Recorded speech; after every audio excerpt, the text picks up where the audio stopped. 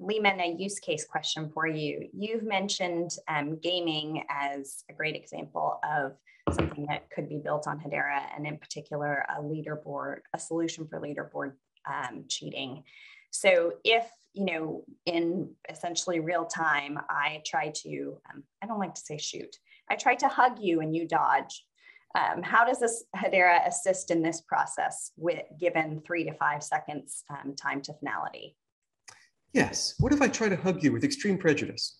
So, what we do, yeah, actually, these are two separate things. Uh, leaderboard and dodging are entirely separate, separate things. Uh, we do have people looking at leaderboard cheating as a thing that Hedera can help with.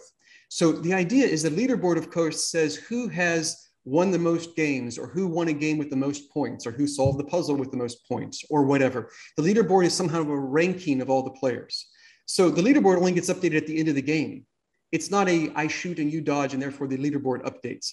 I'm talking about the leaderboard of who has won and what your history, your track record of winning and losing is, uh, or your points, or who has the highest score so far.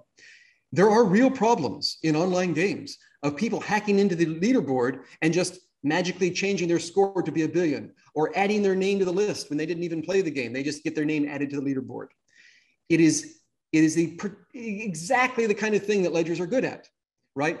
A leaderboard is source of information that everyone can see. We want to make sure we're all seeing the same thing. We're going to make sure that it only updates according to what it should update to.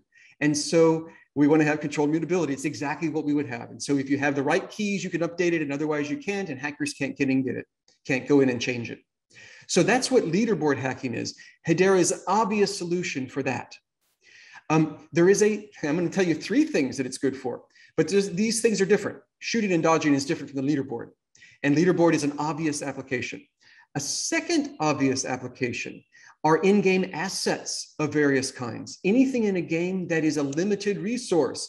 You have the magic armor or you have the super spaceship or whatever. These are things that people in the real world right now buy and sell, and they're worth a lot of money. And you know, maybe they're just sitting on the computer of the game company, and maybe that computer is not terribly secure, and maybe you don't trust the game company and they could steal your assets or whatever. It'd be far better to have an NFT, a real NFT for these things. And again, the way it would work is that when I want to hand you something in the game, I would do so by I'm going to give you a certain number of gold coins and you're going to give me your spaceship. I think I'm mixing genres there. I give you a certain number of gold coins and you give me your magic sword.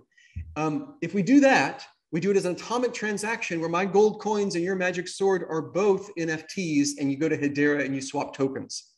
This is a great application as well. And then you don't have to trust the game company to do the right thing. Uh, the, the things that are of real value uh, are of real value. You can even talk about building something like a metaverse where lots of different people are involved in it. And the things of value are not controlled by any one person. They're controlled by a decentralized ledger. Uh, so Hedera is controlling those. That's a second place where games are useful. The third place where games can be used with Hedera is real time, dodging and whatever, where we're playing lots of little short games, even just playing lots of chess games if we wanted to. And the way you would do this, I think I had years ago, I did a podcast where I talked about this or an interview or something.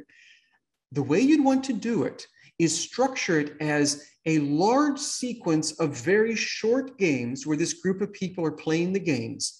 And at the end of each short game, they all jointly digitally sign something saying, here's who won and lost this short little game, or here's how many points each of us won and lost, or here's how things transferred, um, reputation scores transferred, or gold coins transferred during this one little short game.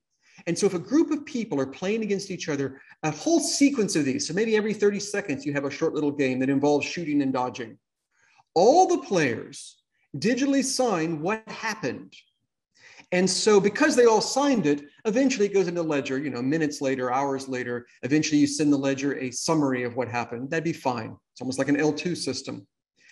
If one player decides to cheat, if they say, yes, I lost that, but I don't want a millionth of a reputation point to go from me to you, I quit. And they turn off their computer without even signing it. And you don't get everybody signing the, the uh, outcome then that one little last mini game of 10 seconds long just doesn't count. But the game ends, that player is no longer playing, they've lost the ability to interact with these other players.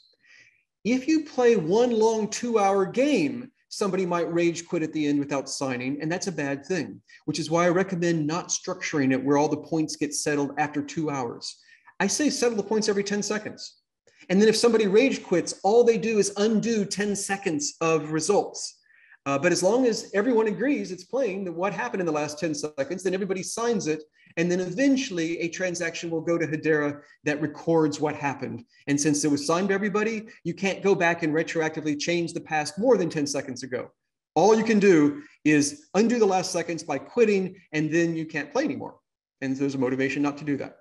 So those are the three levels, three of many levels, where I see uh, Hedera playing a role in online gaming.